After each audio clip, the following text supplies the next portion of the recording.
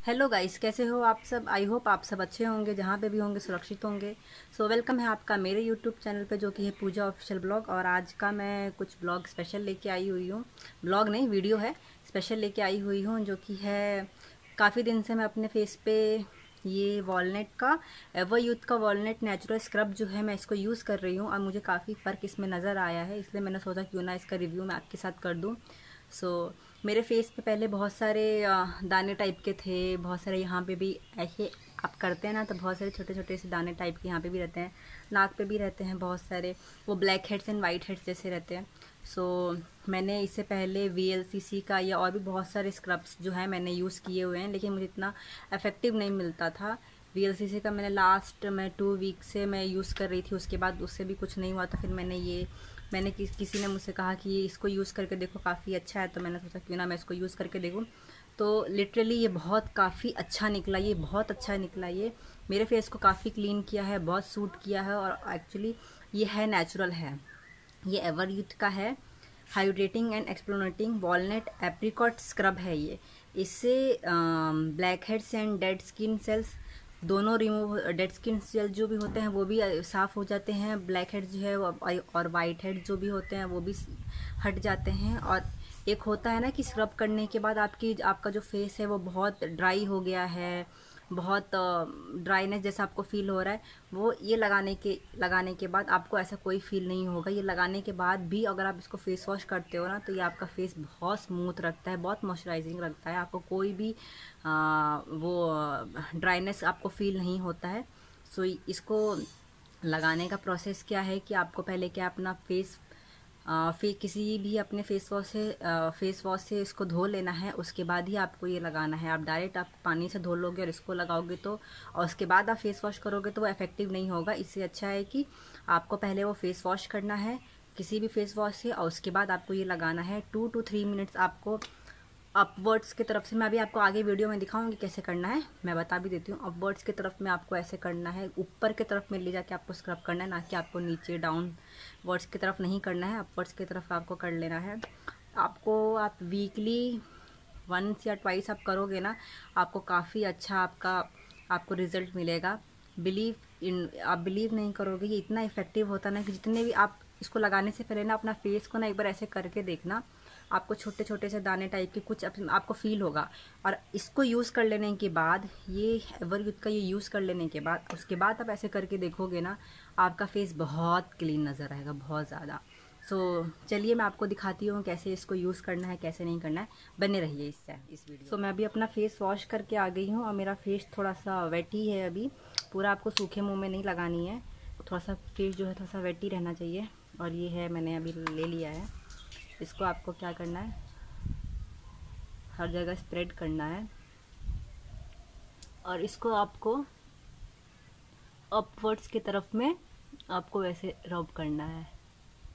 ऐसे। कि आप नीचे की तरफ़ में कभी ना करें, हमेशा ऊपर की तरफ़ में करें, ताकि जो स्किन है ऊपर की तरफ़ लिफ्ट हो। अगर नीचे से करेंगे तो बहुत सारी झुर्रियाँ आपको आ सक, आने की प्रॉब्लम हो सकती है। हो सकती नहीं है ऑफकोर्स आनी ही आनी है। तो आपको कम से कम ऐसे करके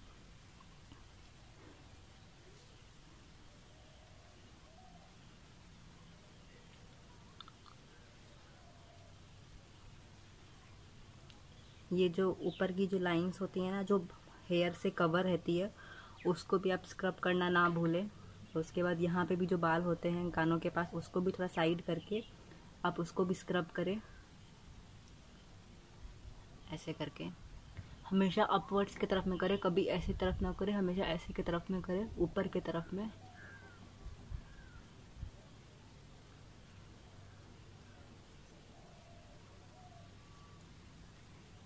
अगर स्किन ड्राई भी हो सक अगर स्किन का अगर पानी अगर जो आपने वेट किया था, अगर वो ड्राई हो जाए तो आप और पानी से इसको ले करके और अपने हाथ को थोड़ा स्मूथ कर सकते हैं, जैसे कि मेरा भी हो गया। हम्म। खूब इसको अच्छे से रगड़े, ज़्यादा हार्शली ना रगड़े, प्यार से ही रगड़े सॉफ्ट सॉफ्ट से रगड़े। नोज़ लाइंस अपने ना भूले, यहाँ पे सबसे ज़्यादा होते हैं।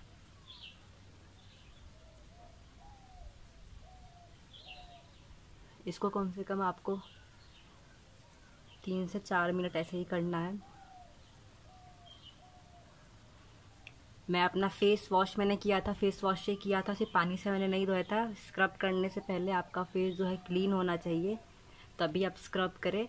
नहीं तो आप पहले स्क्रब करेंगे और फिर फेस वॉश करेंगे तो वो इफ़ेक्टिव नहीं होती है। इससे पहले फेस को क्लीन होना चाहिए, उसके सारे पोर्स जब खुल जाएँगे, तब जाके अगर आप ये स्क्रब करेंगे, तब जाके कुछ इफ़ेक्टिव सा होता है।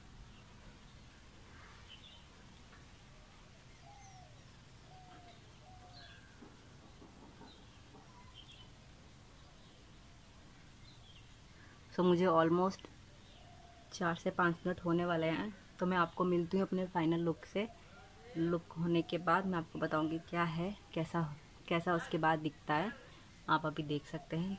मेरे को चार से पाँच मिनट हो गया मैं आपको अपना फेस वॉश होने के बाद मिलती हूँ। सो फाइनली गाइज़ मैं अपना फेस वॉश करके आ गई और मेरा फाइनल लुक देख सकते हैं। ये आप देख सकते हैं, मेरे जितने भी छोटे छोटे से दाने टाइप के थे ना, सब वो निकल के चले गए हैं और सब हट गए हैं, देखिए। जितने भी हैं ना सब निकल के चले गए हैं। पहले क्या था ना कि फेस में बहुत ऐसे हाथ रब करो ना तो बहुत सारे अजीब सा वो छोटे छोटे से पार्टिकल्स जैसे वो दिखते थे कि मतलब रूखा रूखा टाइप का लगता था। लेकिन अब क्या है ना कि बहुत अच्छा स्मूथ लग रहा है।